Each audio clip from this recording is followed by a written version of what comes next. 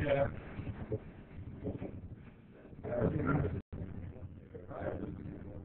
Yeah, I don't know whether you can read those numbers, but that's the current status. Only marks that are missing are assignment 7, which is with the TA. Hopefully I should get it back by today or tomorrow. I'll distribute it on Friday. And then the final.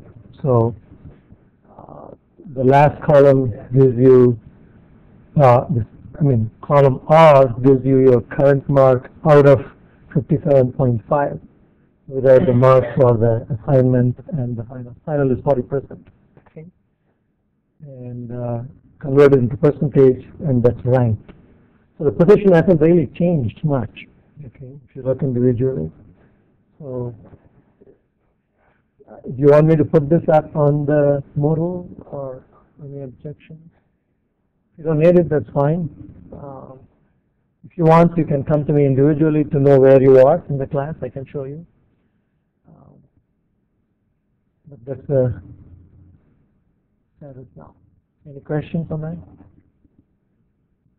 I have treated the quiz as one of the assignments, uh, just included it in the 20%, equally distributed among the eight, eight assignments, seven assignments plus the quiz. Second midterm hasn't changed, I haven't changed that. Is there anything else you want me to do?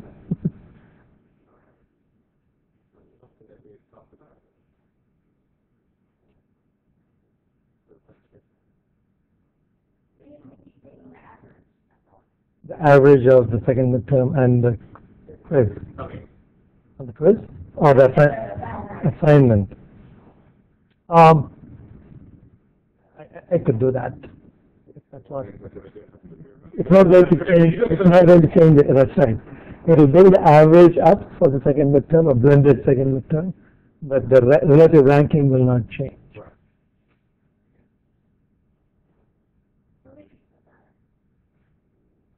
Sure. No problem, I can do that. Okay. Uh, Okay. Last lecture, I spent quite a bit of time on MATLAB. Uh, I think it is important for um, you to be kind of exposed to answering some of uh, those problems. Uh, what I want to do is, uh, the remaining time we have two lectures, talk about this topic of controller tuning. What is controller tuning? And go back to control station, which I introduced uh, earlier very briefly in one of the lectures, and go through the complete process of uh, how you gather the data, how you fit the model, how you do tune the control parameters. And then uh, I have three problems that I have added at the end of this lecture notes. And uh, if there is time, we will go through these problems, just uh, outlining the solution procedure. Uh, kind of a review, starting from the basics, going to all the way to uh, root locus. And so I want you to be able to be completely comfortable with the last problems, two problems that I distributed. Okay. Uh, what is controller tuning? Basically, controller tuning refers to the idea of finding the best values for the controller constants, Kc, tau i, and tau d. Okay.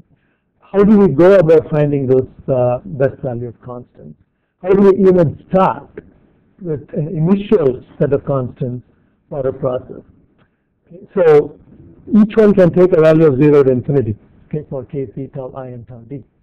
So one of the important first filters that will uh, tell us which regions of those k values and tau i values are not permissible would be the stability criteria. Okay? So we need to do a stability analysis. This you can do assuming that you have a model. Once you have a model, you know how to construct the block diagram, the, the characteristic equation, and determine the stability. So using the stability, you can rule out Kc, for example, cannot be greater than 25, or tau d cannot be less than 5, whatever the value is. So you rule out certain ranges of these values depending on stable operation. That's number one criterion. Okay? The second criterion, once you are you have narrowed down the numbers, you still have a large range to search for. So you can say, okay, what else do I want my controller to do? I want my controller to mimic the steady state performance as accurately as possible. We already saw that if I have only a proportional controller, you have an offset. Offset is a steady state behavior. So that is, the process doesn't ever get into the set point requirement that you need. So that will be the next set of guides that you would use. The steady state performance should be as close to as you want it to be. And uh, the, the last criterion would be the transient performance. So I want to get to the steady state in a certain fashion, as quickly as possible, without a lot of oscillations, things like that, qualitative, quantitative. So these can be quantified, and there are a lot of empirical guidelines that people have developed to initially estimate what Kc and tau and tau should be. And then you start with that on a plant, and as a plant operator, then you change these values by small amounts to improve the performance gradually. So that process is called the controller tuning. Okay, so I'm to illustrate this with a few examples. Here I have uh, a transfer function, which is a second order transfer function with a delay. I'm not sure that you can see that. Um,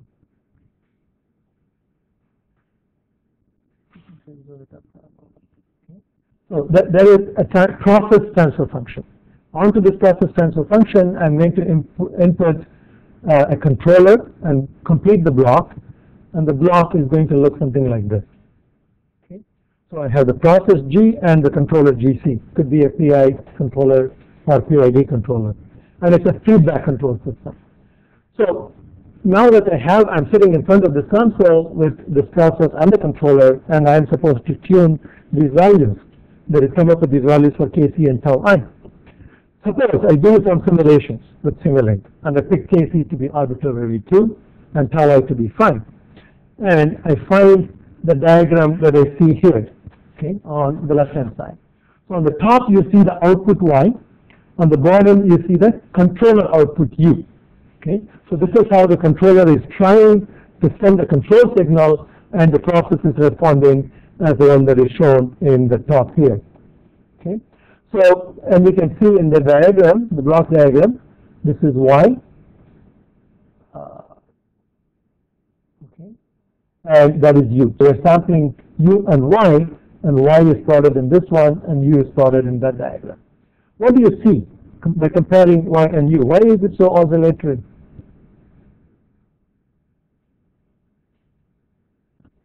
What happens to the output, when the output is maximum, what happens to the controller?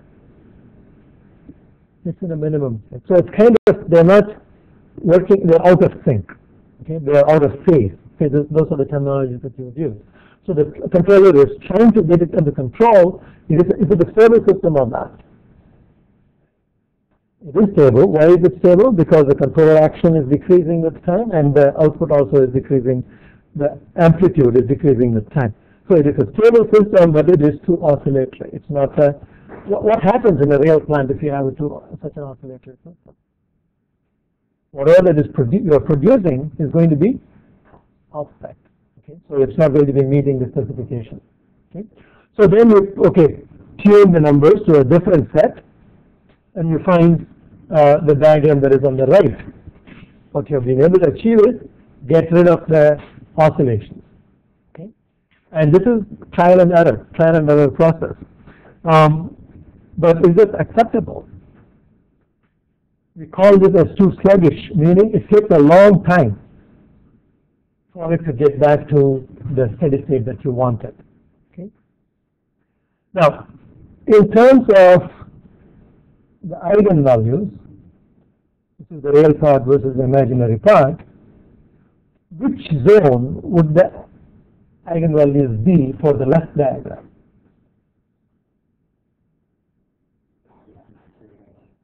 on the negative axis but close enough to the imaginary axis. If it is on the imaginary axis, what happens? You get a sustained oscillation forever. It will never decay. Okay. So what you're saying, this is uh, sometimes called pole placement. You want to place your roots by tuning your parameters. You want to move these roots away in this direction. Because if the real part is a large negative value, that will give you the decay, fast decay that you want. Okay? So the roots in this case are somewhere here. What about the figure on the right? Where are the roots?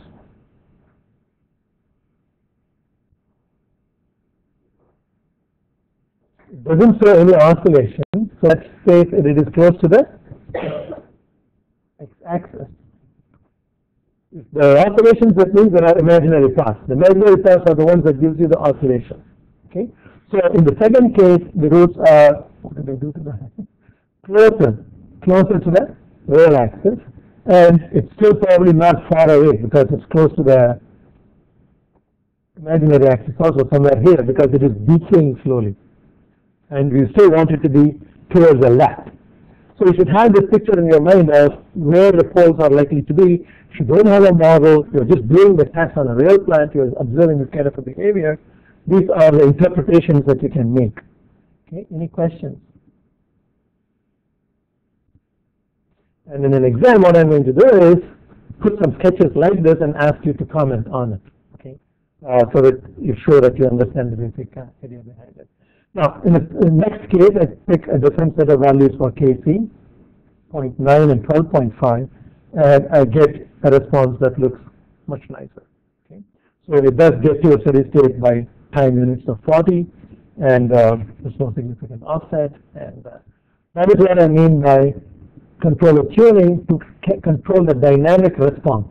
First part is the stability, the second part is a desirable dynamic response. Okay, any questions on that? Yeah.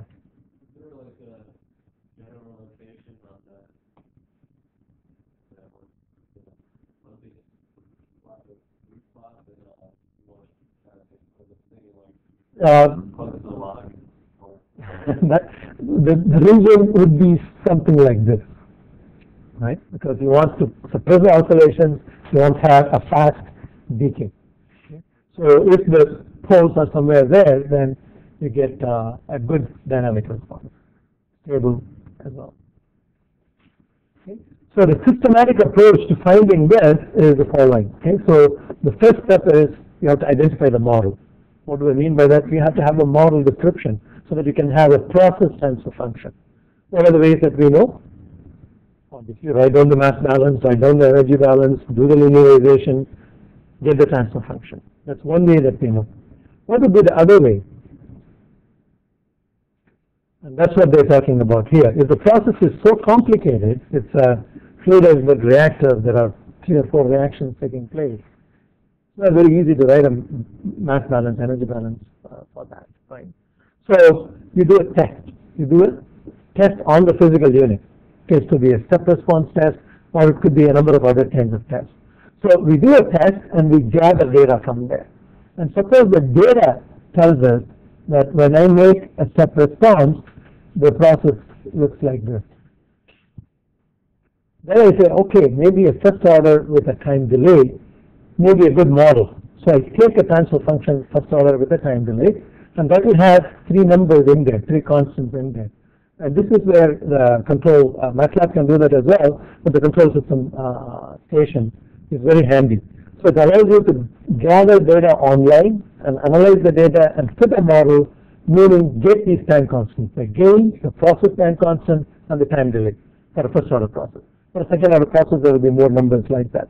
So this is an empirical curve fitting of the actual data that you get from a step response or a pulse response, things like that.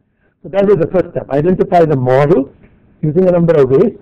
The second step would be, based on the model, obtain an initial guess for the tuning parameters in the controller. Now we have the model, we want to tune the controller parameters, Kc, tau i, and tau d. And there are some empirical methods that I will describe what they are. And once you do that, you tune your uh, controller to those numbers, set those to those numbers, and see how the system performs, and then you can do fine tuning, meaning changing the number by a small amount. Okay, that's the overall process of uh, controller tuning. Now, in the Ziegler-Nichols method, the test that you're going to do is not a steps test, but it is a, what is called a continuous cycling test. It was proposed by Ziegler and Nichols in 1942. Okay, so it's primarily aimed at rejecting the disturbances effectively, and it is called an aggressive controller, and we will see what this aggressive controller means later on. Okay, so the process is the following. The process is set the integral and the derivative action to zero. You have only a proportional controller, and you have a real plant in front of you. Okay, you are a control engineer in charge of that. So you do a test. start with a very low value of Kc, okay, the, uh, the proportional controller constant, and then continuously increase that gradually in small steps, and look at the output, and find out for what value of Kc you get continuous cycling, sustained oscillation. The output should be giving you sustained oscillation on a real plant. Okay? So you need to get permission to do this test so that you're going to lose the product during that time, but hopefully that will allow you to tune your controller to get better uh, output on a sustained basis. Now, what, from what we have learned so far, why is this test, what is this test uh, trying to achieve?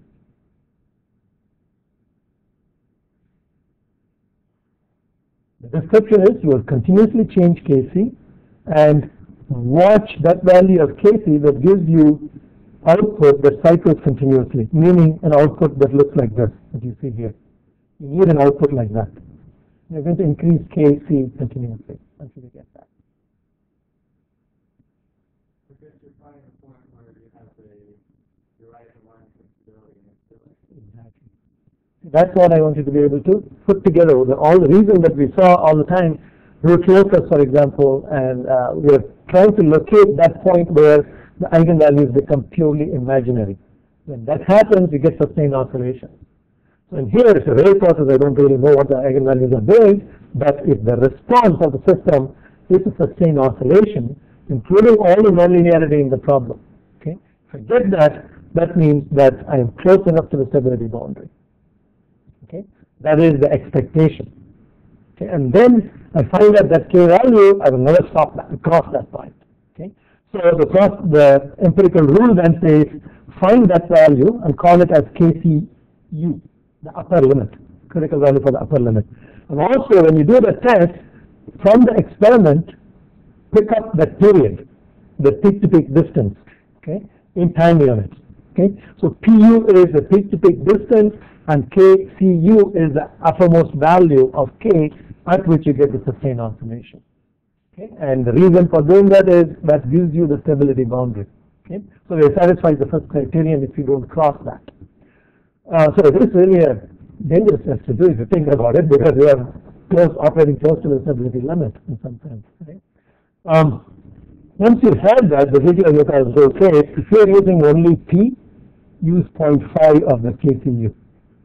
If you're using P and I, use 0.45 or KCU and PI over 1.2. These are empirical rules based on experience, and they need not work for all the processes. Okay, distillation column may have a different dynamics than a reactor. Okay, so this is a generic set of numbers that gives you a good initial starting point, and from that point you need to fine tune that. Okay, so these tables are there for different methods, and each one goes by a different name. Okay. And there is another method, uh, Tyreus and Luyben, and it gives you somewhat less, yes, question, aggressive.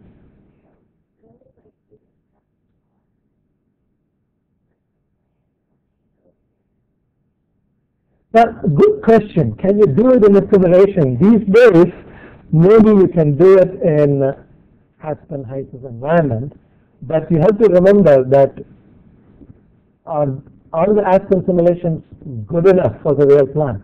Okay, there are some differences still. Right? You do it in the simulation first, get, get those numbers, use that, and then try to tune. That would be a safer way because of the stability, safety considerations. Okay. Um, because the real process is nonlinear. Simulations can capture more of nonlinearity. Right?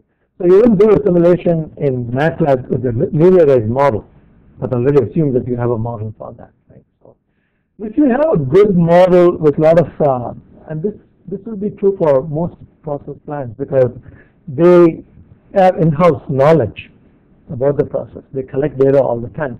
So they can build and fine-tune a model that captures that. Process engineers use these models for optimizing the process conditions. So you can use that model with its dynamic counterpart to do this kind of test. Yeah. That would be a safer way. This was developed in the 1940s before the days of Aspen and HYSYS. Right? So now the other method um, is called the Cohen and Coon method. And here what they do is they fit, as I said before, a first order transfer uh, function with a time delay.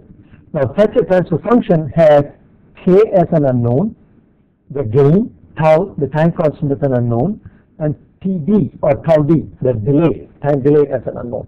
So these are three numbers that are treated as unknown in the transfer function. Okay. Then um, you do a step test, not a sustained oscillation because that's more dangerous. So you do a step test, and from the step test, as I said earlier, this is your step change, and if the response is like this, you take the response and find the best values of k, tau d, and tau that fits that data. How would you do that? Does any method come to your name? You must have done this in experiments in lab.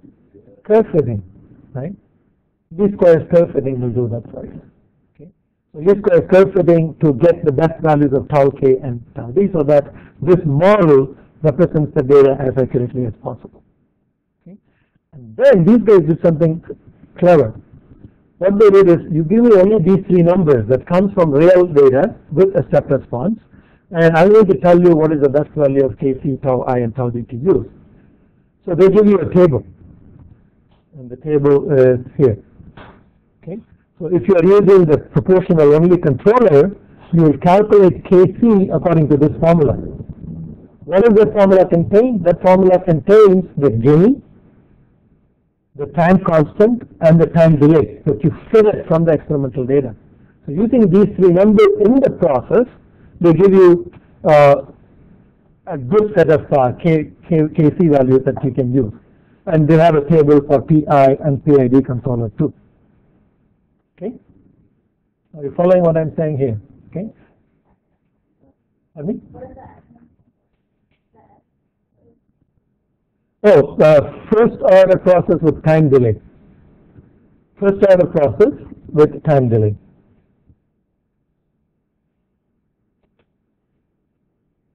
The time delay simply adds the e to the power minus TDS. Without it, it's a first order process with a gain and a time constant.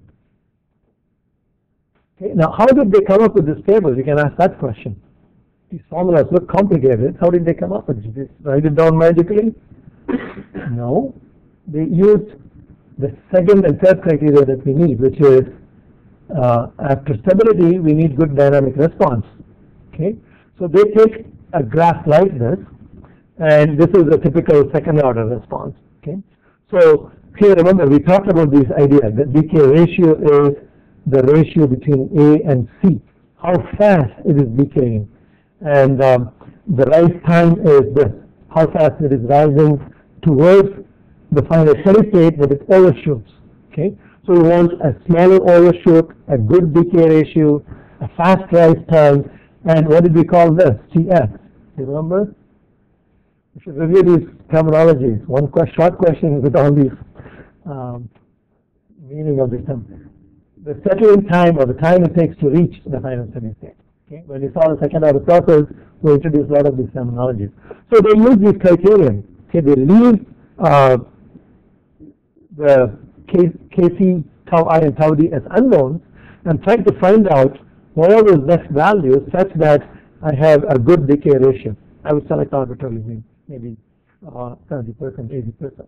So depending on the choice, you will have these tables changing on you, but they have made a selection of uh, the decay ratio, the rise time, etc. And based on that, they tell you that you can calculate these k values, uh, k, tau i, and tau d according to this table. Okay. So, what is the lesson from all this? You should be aware of the process. First, model identification, model development. Second, stability analysis. Third, uh, controller tuning, largely empirically done. Okay. And uh, there are a lot of empirical methods that are available. Now, here is how a model fitting, I said least squares is what you would use nowadays, but before the days of computers in the 40s and 50s, this is how they would do the model fitting for a first order process with a time delay. Okay, so you do a step response and you get the data. So here is your curve. Okay, and there are three numbers that we need to determine. Okay, so the first number is the gain. The gain is nothing but the output to the input ratio. So you pick the last value, the steady state value, which is 2 in this case, and you made a step change of one, a unit step change. Okay, so the delta U is one, so K is two units, the gain. Okay, so that's how you get the gain in your transfer process transfer function. Then we are left with two more constants. Those are the tau, the time constant, and the delay, time delay, tau d. So that means before I have a lot of data and do a least squares, I just pick two, da two data points.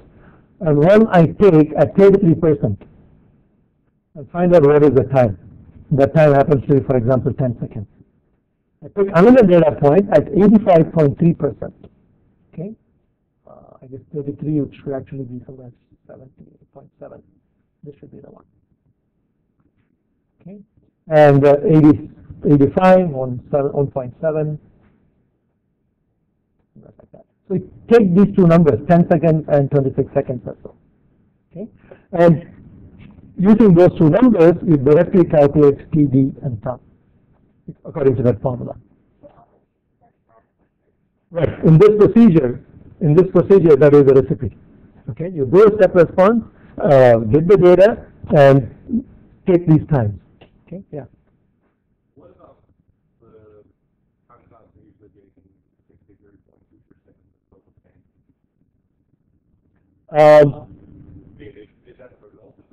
No, no, the, you, it's not a result, it's a general observation for a first order process, which allows you to pick the time constant directly by just one reading. Okay, so if you didn't have, for example, a delay, if you had only k divided by tau s plus 1, and your response, uh, then in that case it will look like this. There will be no, the, the, the slope here will not be zero, because it's an exponential. Right. Okay, so when, when it is like that, if you go at the 66 or whatever the percentage, I don't remember, what you will get on this axis is t over tau equal to 1. That is, in one time unit, the first order process will always reach 66% of the final target. If you know, and that is always true as long as the process is truly first order. Right? If that is true, then by reading at the 66%, you can get what is your time constant. Whatever the time axis is, that's going to be your time constant directly. Okay? Am I making sense or not? Still thinking. Okay, you should. It is, yeah. As, as one of the graphs that we saw, if you remember way back, uh, when we generalized from first order to second, third, fourth, we had this graph. This was the first order. The second order will be like this. Third order will be like that. Fourth order will be like that. Okay? These are not pure time delay processes. This is a fourth order process, but you can approximate it as a time delay with a first order process. Okay? So the first order process with the time delay is an approximation for what really is a higher order process.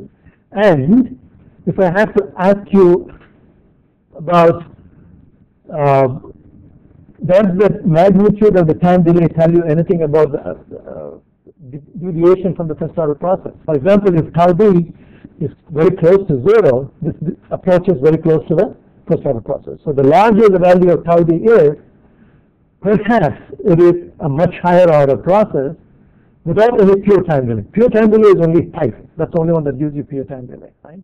So if it's a real process, but you have a d, and you're splitting it with a first order process that's large, it says the real process is probably a much higher order process. Okay? But you can always approximate it by a pure delay and a first order process. Okay, good question. So this recipe tells you then, do this test, take these three data points, and then estimate your k and the tau and tau d. Once you have that, put that into a table, get your kc tau i and tau, uh, tau d. Okay? That, and in this particular example, they tell you that they have done this and uh, how the PI and PID uh, controller uh, respond to a unit step change. So in the first stage, you see that you make a unit step change, and it has a slight overshoot, but it comes after one cycle, it settles down. Okay, that's a good controller. Okay, and then here a disturbance comes, and the disturbance is rejected in the same way.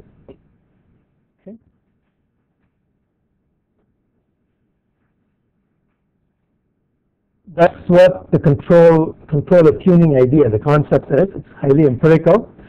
And that basically, I think, concludes in terms of topics that I wanted to cover. Uh, what I will do is in the remaining 15 minutes, I'll go through the control station to show you the process of controller tuning. And then I have three problems. I would like you to take a look at these problems, and we'll discuss them on Friday's lecture. If you have any questions, if you are attempted by then, including the two problems in your assignment, we'll discuss all of them on Friday. Okay? So let me just start the controller station. Again, this is not related to your exam because I'm not going to be able to ask you questions on this, but it's an important part of the course on how the data is gathered and how the controller tuning occurs. And, like in class, we had very awkward, very, okay. You have done this before? If you have done it, I'm not going to spend time here. No, no, no, no, no, yeah, uh, uh, my question was just like, uh, different models will be better for Yeah, yeah. that game. Um,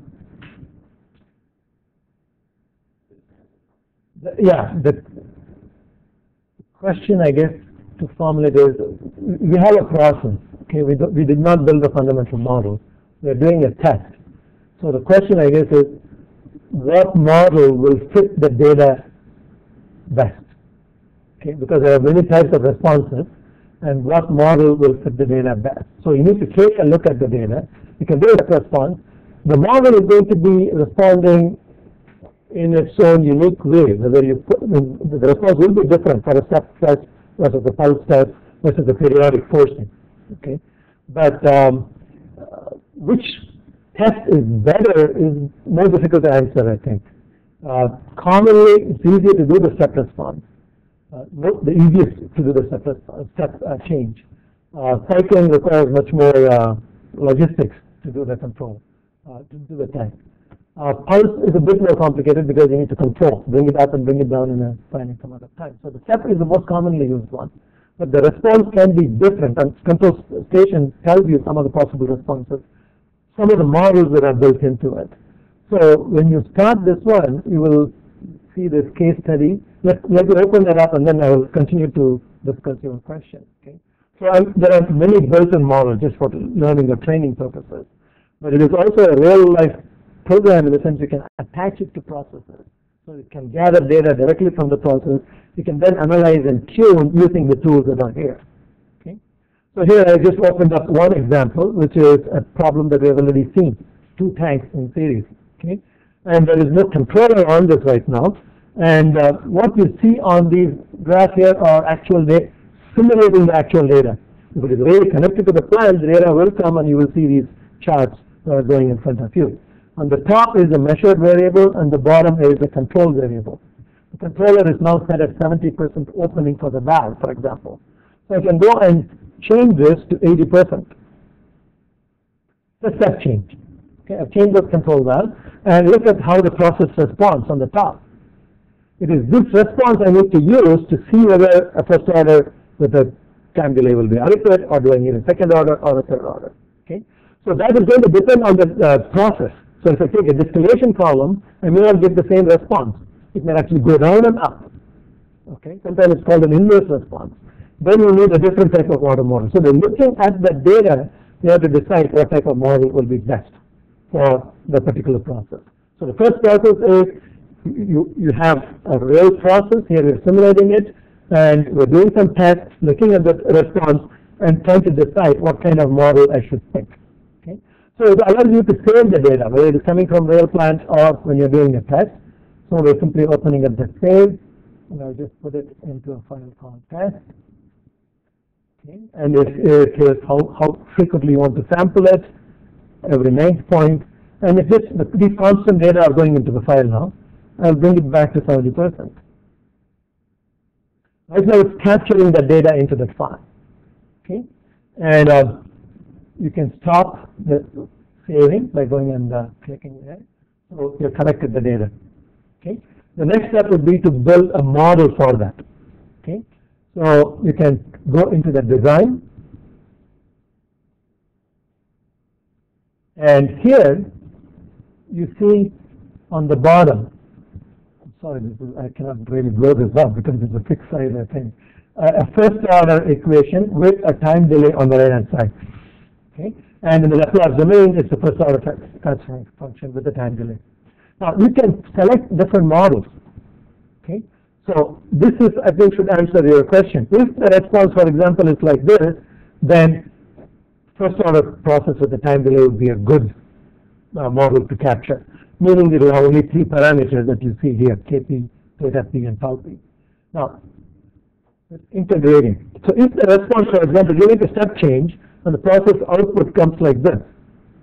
If the output is like this, then it says it is a first order process that is integrating. Okay? So the equation is dy dt equals k times u times c minus theta p, just a pure delay, and the transfer function will be something like this. That model will be better. So to answer your question, I need to look at the response and see which model will be most suited for that. Now, there are obviously millions of models, okay, so all this tool gives you is a few set options, preset options. So if it is a, something like this, then a second order model with the time delay. Second order model with lead time. So if you see some sort of a decrease and then increase, maybe this model may be better. It looks much more complicated, okay? But this data can be fed into this program and the program can fit the model and give you all the parameters. In this case, for example, you have Kp, tau L, theta P, tau P1, tau P2. There are five constants. It will give you the best value of those five constants. Then you can use that model to do the controller tuning. Okay, so this is the model building step. Okay, is that clear? Does that kind of answer your question? Like, what, I think that is your question, right? How do you, what, what is the, no, your question I guess is what is the best test to do?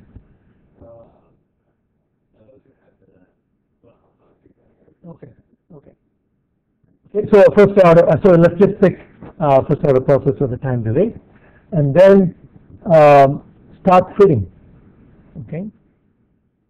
No data selected. I guess I'm select data first. Okay.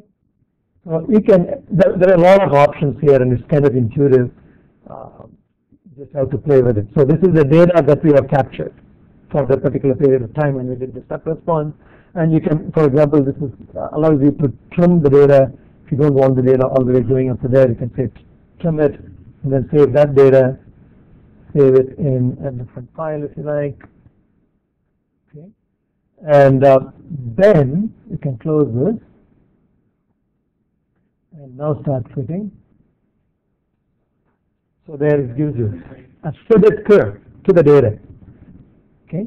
And it gives you on the bottom green line the gain 1.136, tau 1.67, and theta the time delay.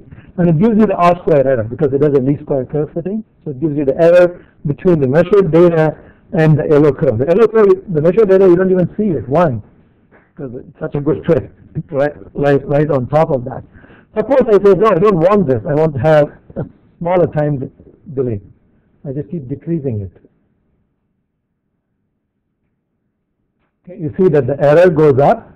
The yellow curve now departs much more from the blue curve, here, that you cannot even see there. uh, but you, you must play with it. Okay. But if I change the gain, for example, now you see the data there, real data there, and the actual, uh, the curve-fitted one there. So you can change visually if you want to numbers that are different from the best fit. Once you do that, um, those numbers are entered into the uh, controller here. Okay, the gain, the time constant, and the time delay. Now you choose PI. It says these are the best control actions, KC and tau i. Okay. How did it come up with that? It probably used one of its own tables, either the Ziegler-Nichols or the Coon-Cohen, whatever it is. Okay. So it uses those to get the best initial value for uh, KC and tau. That's, that's the process of tuning. This is very close to what you will see in a real plant. Okay, the control station is a pretty good uh, simulation of the environment with the ability to actually uh, directly interface with the plant. Okay, any questions on that? Now, how do I enable the controller? So I just go and click on this, And right now it is in manual mode. Okay, so I just say PID. Yeah. Now you see the loop completed. You have um, no control over the controller output anymore. It's grayed out. But what you can do is you can do the set point. Previously you didn't have that. Now you have the set point. So if I change the set point to 3, it should then send the signal to the controller to adjust the control output. So what you see in the bottom is the control output, changing with time uh, for a step change in the height and how the system actually responds in the cloud. It's actually a nice program, except the black box programs I'm a bit hesitant to use in teaching because you don't know what, how it is doing all these things. Okay? But it is very close to what you will be facing in real life, so it's a useful exposure to this kind of an environment. Whereas in MATLAB, you actually do it, so you understand how, how it is done. Any questions or comments? Okay, so that's basically all I wanted to show you on control station 10, 15 minutes introduction through this process of controller tuning. Okay, so you should have an idea of what controller tuning is. And the tables and stuff I put in the formula sheet. So if I ask you to, for example, recommend a, a value of uh, Ki, Kc or tau i, you should be able to follow that up. That will be part of the exam uh, set as well. Controller tuning. Very simple question. Straightforward number crunching. Okay, yeah. The model that you're just doing is a theoretical model, because uh, the way you generate the values, based on a theoretical model. So picture you just have Yeah. different six angles, okay, so not the calculating at this point in time, it's doing. Yeah. So what happens to little? Good question. They added, yeah, they added that in for realism, okay, by just putting, a, generating a random number, but controlling the random number uh, amplitude. Okay, so just to, but that's how real is, so, so it's not, um, the randomness that you see is, uh, not part of the model, it's added in afterwards.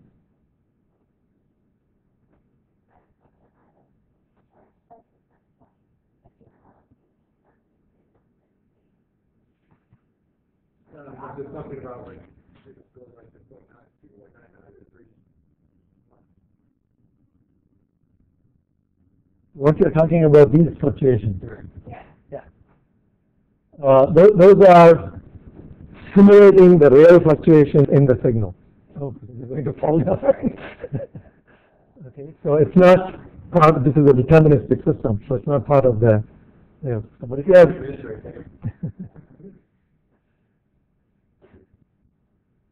Okay, so take a look at those three problems plus the two in your assignment and bring back your questions. If you have no questions, I'll just go through discussing uh, how you would. And that covers, I think, the entire part. So fifty percent of the questions will be based on up to linearization. So all of you did very well in the quiz, so uh, I'm, uh, I'm uh, confident that if you do as well in the final as you did in the quiz, on that part, you should be able to pass.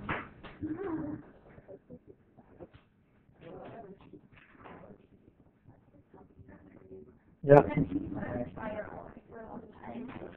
This third homework, I don't think San Jessica has that already. okay, yeah, yeah, Yeah, yeah. and then Okay, okay.